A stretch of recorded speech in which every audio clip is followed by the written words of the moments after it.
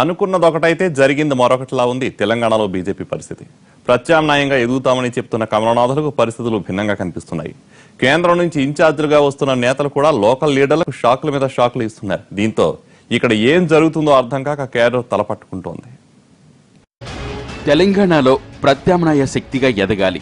అధికార టీఆర్ఎస్ పార్టీకి గట్టిగా సమాధానం చెప్పాలని బీజేపీ నేతలకు కొంతకాలంగా నూరిపోస్తోంది హైకమాండ్. అయితే తెలంగాణ బీజేపీ అధికార పార్టీతో కుస్తీలు పడుతుంటే ఢిల్లీ దూతలు మాత్రం తెలంగాణ సర్కార్తో దోస్తీ కడుతున్నారు.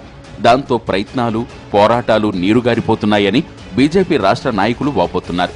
రాష్ట్రంలో బలపడేందుకు ప్రజా సమస్యలతో పాటు బీజేపీ ఎజెండాను ఇంటింటికి తీసుకువెళ్ళేందుకు తమ స్థాయిలో ప్రయత్నాలు గట్టిగానే చేస్తున్నారు. పథకాలు ప్రవేశపెడితే మేము కూడా స్వాగతిస్తాం కానీ పథకాల అమలులో జరిగేటువంటి అవినీతి మేము ప్రశ్నిస్తున్నాం.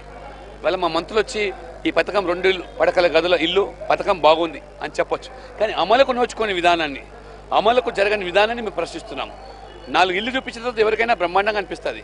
ఇవాళ కేంద్రం నుంచి వచ్చేటువంటి నిధుల ద్వారా ఇవాళ ఏదైతే వైద్యం పరికరాలు ఈ ప్రభుత్వం ఏర్పాటు చేస్తుందో ఆ పథకాలు మంచివే కానీ ఆ పథకం అమల్లో రాజకీయ కోణాన్ని అవినీతిని మేము ప్రశ్నిస్తున్నాం.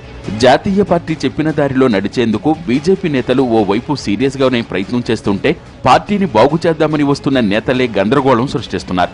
మరీ ముఖ్యంగా ఇద్దరు బీహారీలు నిద్ర పట్టనివ్వటం లేదు. తెలంగాణ పార్టీ వ్యవహారాలు చక్కదిద్దేందుకు హైదరాబాద్కు వచ్చిన బీహార్ డిప్యూటీ సీఎం సుశీల్ కుమార్ మోడీ బీహార్ ఆరోగ్య శాఖ మంత్రి మంగళ్ పాండేలు బీజేపీ నేతలతో మీటింగులు పెట్టారు. అయితే ఆ మీటింగుల మాట దేవుడెరుగు కానీ రాష్ట్ర ప్రభుత్వ సంక్షేమ పథకాలు పనితీరుపై జరిగిన సమీక్షల్లో మాత్రం చాలా హడావుడి చేశారు. సర్కార్ కార్యక్రమాలను ఏకంగా ఆకాశానికెత్తారు. రాజకీయంగా భారతీయ జనతా పార్టీ టీఆర్ఎస్కి వ్యతిరేకము. ఆ టీఆర్ఎస్ వ్యతిరేకమైనటువంటి ఒక ఏదైతే ఆలోచన ఉందో మేము ముందు చెప్తా ఉన్నాము. కేంద్రం చూసినటువంటి వచ్చినటువంటి నాయకులు కానీ ప్రభుత్వ నాయకులు కానీ పార్టీ నాయకులు ఎవరు కూడా పొగడలేదు. అమిత్ షా గారు వచ్చారు. ఈ యొక్క గవర్నమెంట్ని కేసీఆర్ టీఆర్ఎస్ గారు మొత్తాన్ని కూడా ఆ రోజు దుమ్ము దులపడం జరిగింది. కేసీఆర్ గారు కూడా దానికి రియాక్ట్ అయ్యారు. కానీ మినిస్టర్లు వస్తే ప్రభుత్వపరమైనటువంటి ఒక రిలేషన్స్ కోసము వాళ్ళు ఏదైనా మాట్లాడితే మాట్లాడించు దానంత మా- మాత్రాన టీఆర్ఎస్కు బీజేపీకి ఏదైనా సంబంధం ఉందని చెప్పి తప్పది. సుశీల్ కుమార్ మోడీ మంగళ్ పాండే కేసీఆర్ పాలనను ఆకాశానికి ఎత్తడం ఇక్కడి నేతలకు మింగుడు పడటం లేదు. జీఎస్టీ సమావేశానికి హైదరాబాద్ వచ్చిన సుశీల్ గజ్వెల్లో పర్యటించి మిషన్ భగీరథను పరిశీలించి తెలంగాణ సర్కార్ను పొగడతలతో ముంచెత్తారు. కేసీఆర్ను అపర భగీరథుడని కీర్తించారు. తెలంగాణలో ఇంటింటికి తాగునీరు పథకం బీహార్కు ఆదర్శంగా మారుతుందని మెచ్చుకున్నారు. అది ఉన్న తేడా ఖచ్చితంగా ప్రభుత్వాలు ఒకటికొకరు సహకరించుకోవచ్చు అభ్యంతరం కానీ పార్టీ పరంగా మేము ప్రజల పక్షాన ఉంటాం ప్రజల కోసం పనిచేస్తాం.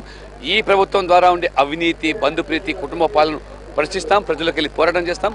ఖచ్చితంగా ప్రజలకు నమ్మకం మా మీద ఏర్పడ్డది. బీజేపీ కావాలి.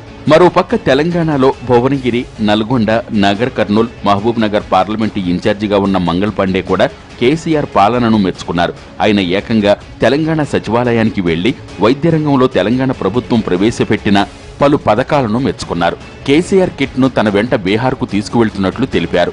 ఇలా కేంద్రం నుంచి వచ్చిన నేతలు వరుసపెట్టి కేసీఆర్ సర్కార్ను ఆకాశానికి ఎత్తేస్తుంటే ఇక్కడి నేతలకు తెగ మండిపోతోంది.